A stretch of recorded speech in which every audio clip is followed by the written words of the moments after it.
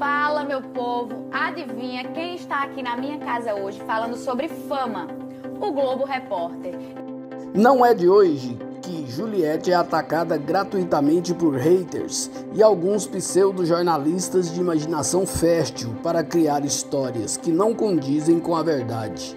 A fofoca de que a Juliette teria tido um ataque de estrelismo no Copa Star é tão sem nexo quanto a credibilidade de quem inventou. Em outras ocasiões, a Pitica já falou sobre as reviravoltas na sua vida, o quanto é grata por tudo e faz questão de lembrar sempre de onde veio, com quem veio e aonde pretende chegar. Isso tudo em meio ao amor dos cactos. Só quem não a conhece minimamente ou tem muita maldade no coração para contar fatos verídicos a seu respeito. A luz de Juliette brilha intensamente e seu surgimento em 2021 foi o que de melhor aconteceu no Brasil nas últimas décadas.